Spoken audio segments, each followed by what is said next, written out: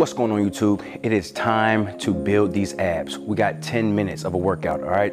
30 seconds on, 30 seconds off. We'll be doing 30 seconds of hard work and then 30 seconds of rest, just to give you enough time to relax your abs, breathe, stretch in between, do whatever you need. But we wanna get all 10 minutes in. That will be 10 exercises, guys. Really targeting the obliques, really targeting the lower abs and the overall abdominal area, all right? I want you to give it your all. You can do this workout every single day.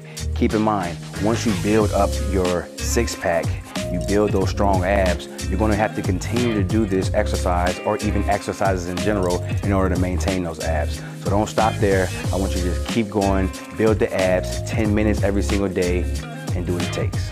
Let's get to it.